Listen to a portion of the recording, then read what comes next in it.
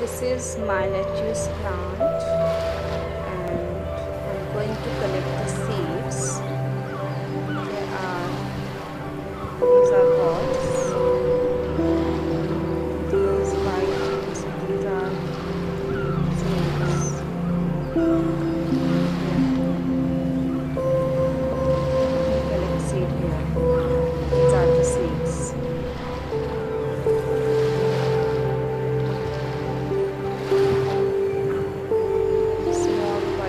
seeds of lettuce.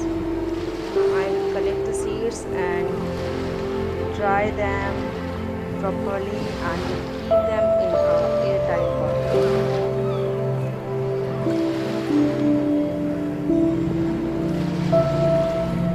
See, these are the pods which have seeds. You can see the small white seed.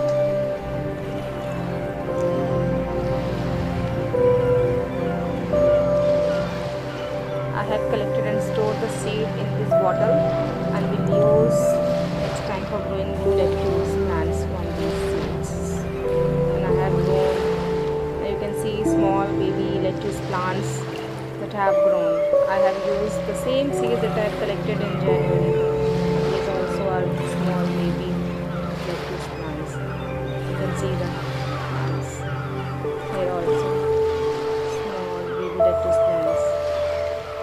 Beautiful plants.